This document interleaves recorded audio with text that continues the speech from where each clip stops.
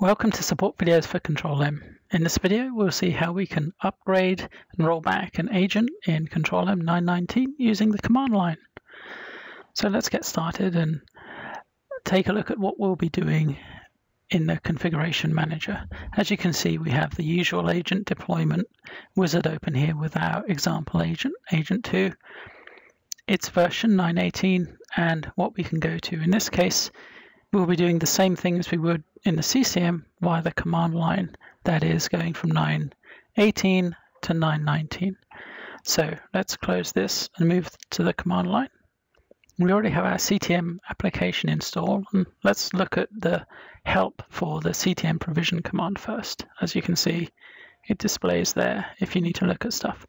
Our first command is going to be upgrades versions get. And this is going to show us what's available on the EM server that we can apply. In this case, you can see we have agent upgrade 919 and the app pack 919-100.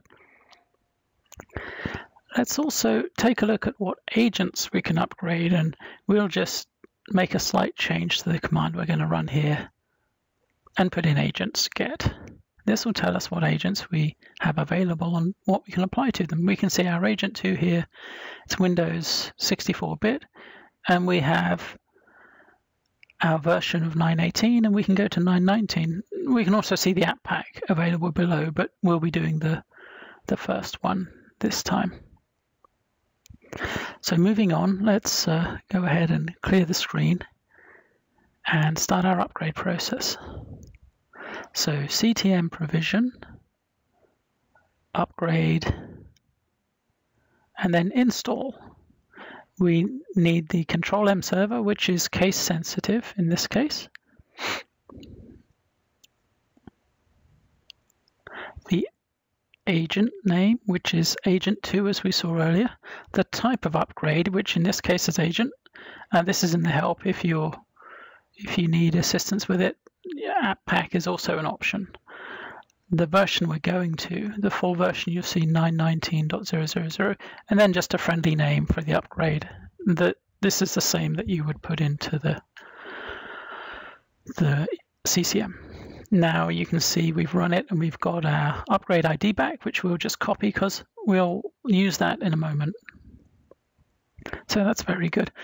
It's running at this point let's go ahead and see what we can do to take a look at the status of this. And if we run upgrades get, that's going to give us all the upgrades that are currently running. As you can see, we've only got one. And it gives us the status, what it's doing, the timings, and the percentage. So we could run it again and it would give us, assume, a higher percentage. So let's clear the screen again and uh, this time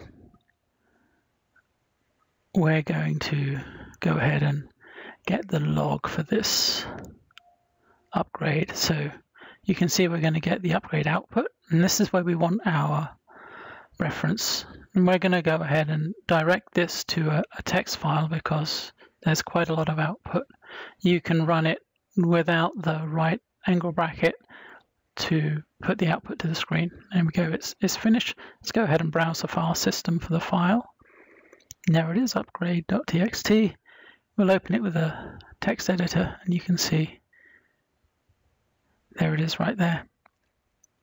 Scrolling down. All right, so that's all of the log, and this may be helpful with troubleshooting or if you uh, need the log for anything. So let's go ahead and uh, run the downgrade this time. We're actually just going to make a few changes to our command. It's going to be uninstall, and then I'm just going to update the name we're using. We get another upgrade ID back here. This time it's number four. And it's going to downgrade the agent from 19 to 18 again. Let's take a look at that. And we run our upgrades get and you can actually see we've got both 3 and 4 there, the most recent at the top. We can see that our rollback did complete successfully and the timings. Thank you for taking time out of your day to watch this video. I hope you found it useful. You'll find more videos like this on our YouTube channel.